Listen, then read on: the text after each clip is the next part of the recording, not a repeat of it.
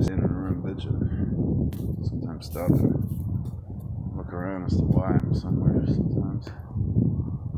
I know everybody's snickering their own jokes. I think they're just doing it to be smartasses and idiocracy. That's what we're leading into. Of course, I speak that, and they want to snap into intellectuals for that very moment before they go right on back into gremlin giggling. But I've uh, never really been one for this park. I think I camped here a few times when I first got to Lompoc back in 2016, but I uh, haven't really been back for any reason other than something kind of cool.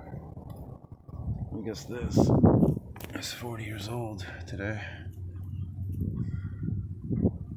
It's not awkward that I was posting about cogwheels posts ago. It's small, but I remember when that kind of stuff used to really stand out, mainly because there was so much of it happening. It was everywhere. I've been noticing lately.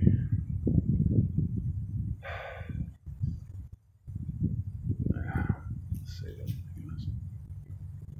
So standing over there, and parking over there, and parking over there.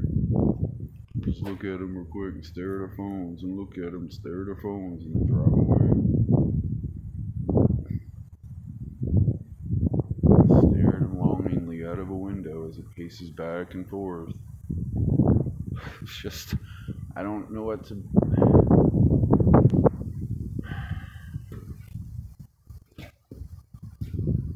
do.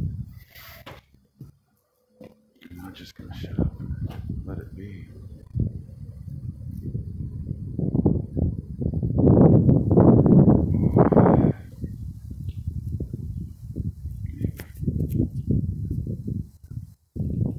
Um,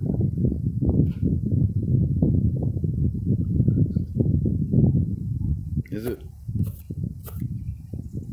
Thursday, December 31st? So I guess it is New Year's Eve. Great. Great.